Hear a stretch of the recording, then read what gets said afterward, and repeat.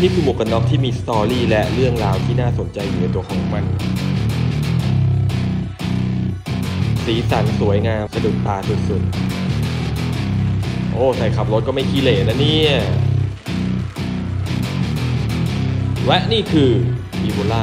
50 ปีมาสไ r เดอร์ Anniversary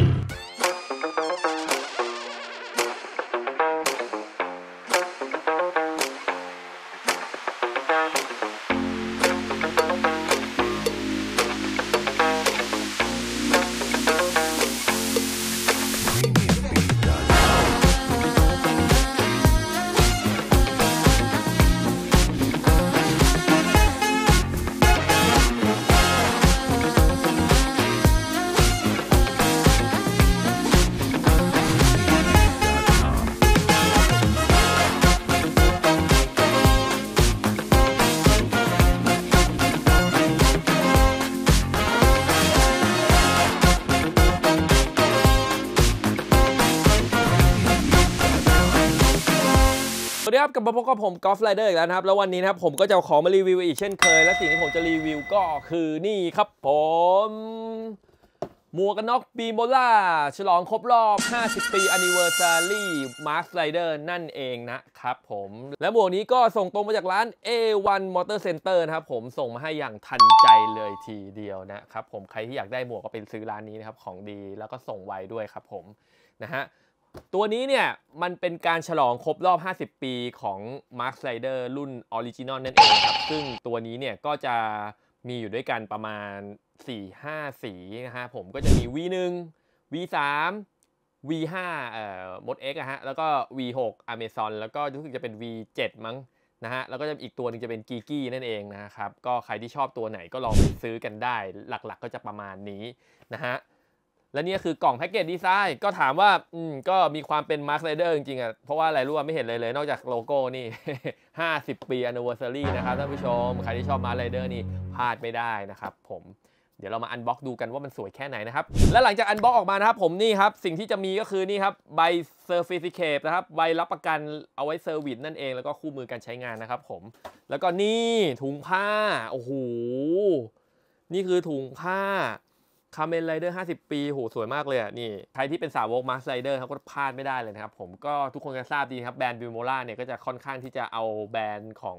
ออตัวลิขสิทธิ์อย่างการ์ตูนหรืออะไรพวกนี้มาค่อนข้างเยอะก็เราก็จะเห็นอย่างหลากหลายเลย และอันนี้เนี่ยผมบอกเลยเด็กหนวดอย่างพวกเราเนี่ยต้องมีนะครับผม และตัวที่ผมเอามารีวิวก็คือเป็นลายของให้ทายก่อนท่านผู้ชมลายอะไรอ่าและตัวที่ผมเอามารีวิวก็คือตัวนี้ครับนี่ ลาย V3 นั่นเองบอกเลยครับ โอ้โห ตัวนี้นี่ไปไวไปไว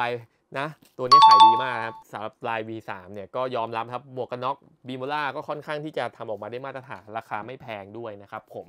สำหรับ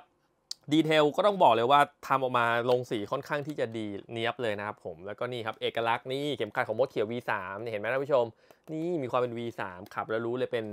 มดเขียว V3 นะครับชิลก็ให้ชิลเป็นชิลประหลอดนั่นเองนะฮะก็กันกันแสงกันแดดได้ดีนะครับผมถามว่าเนื้อหมวกเป็นไงแน่นแข็งแรง น่าใช้และทนทานมาก ๆนะครับแหมพูดซะเหมือนขายของเลยนะแต่ไม่ไม่อันนี้คือดีก็บอกว่าดี ไม่ดีเราก็บอกว่าไม่ดีนะฮะ นนี้มีช่องใส่แว่นให้ด้วยสำหรับใครที่ขี่มอไซค์แล้วชอบใส่แว่นนี่ครับมีช่องใส่ให้ด้วยนะครับ ถือว่าทำออกมาได้ตอบโจทย์การใช้งานเลยทีเดียวนะฮะใส่สบายนวมนิ่มมากเลยท่านผู้ชมโอ้โห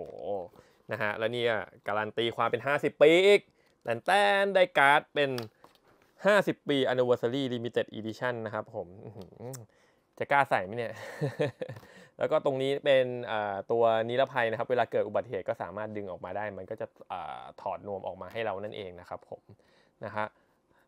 โดยรวมก็ถือว่าสีสันทำออกมาได้ดีทำออกมาได้สวยนะครับ ก็ค่อนข้างที่จะโดนใจไบเกอร์อย่างพวกเราเลยนะครับผมนะฮะ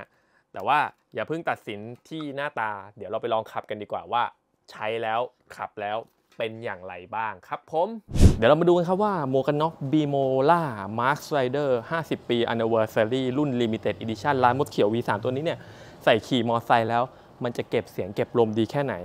ปะเดี๋ยวเราไปดูกัน Start on fire อะเดเอ้ย แบตหมด มาครับผมวันนี้เรามาเข้าเรื่องกันนะฮะ หลังจากที่ผมได้ลองใช้หมวกกันน็อกใบนี้ขับมอเตอร์ไซค์แล้ว ก็ต้องบอกตามตรงว่าถ้าเป็นในรถของรถขนาดเล็ก หรือพวกรถ automatic scooter เนี่ยถือว่าโอเค ใช้งานได้ดีปกติครับ เก็บเสียงลมพอใช้ได้ไม่ถึงกับดีมาก แต่ก็ถือว่าอยู่ในระดับเกณฑ์ที่ไม่แย่แล้วก็ไม่ได้ดีเด่นส่วนถ้าขับบิ๊กไบค์ผมบอกเลยครับว่าน่าจะเอาไม่อยู่ถ้าเป็นคาร์ดเกิน 600 cc ขึ้นไปสำหรับการใช้งานโดยทั่วไปถือว่าใส่สบาย ไม่เป็นอุปสรรคต่อการใช้งานครับ แล้วก็ที่ชอบเลยก็คือมีที่ใส่แว่นแยกมาให้ก็ถือว่า เป็นหมวกที่สมกับราคานะครับผมกับราคาเพียงแค่ 2,000 กว่าบาท ก็ถือว่าใช้งานทั่วไปได้ใช้กับรถเล็กสบายครับแต่ใช้กับบิ๊กไบค์ก็เหนื่อยหน่อยนะนี่คือข้อสรุปการใช้หมวก Bilmola Masked Rider 50 ปี anniversary นะครับ ราคาอยู่ที่ประมาณ 2,000 กว่าบาทบวกลบนะครับผมแล้วแต่ร้านที่จะขายแล้วแต่รายที่มีเลยนะครับ ก็ถือว่าเป็นหมวกกันน็อกที่ไม่แพงราคากำลังดีแล้วก็ลวดลายสวย เหมาะกับใช้งานกับรถทั่วไปได้เลยนะครับ ก็สำหรับใครที่ชอบคลิปนี้ก็ฝากกดไลค์กดแชร์กด subscribe เป็นกำลังใจให้ผมกอล์ฟได้ด้วยแล้วเดี๋ยวคลิปหน้าผมจะไปเที่ยวที่ไหนทำอะไรหรือเอาอะไรมารีวิวก็ฝากติดตามกันด้วยนะครับ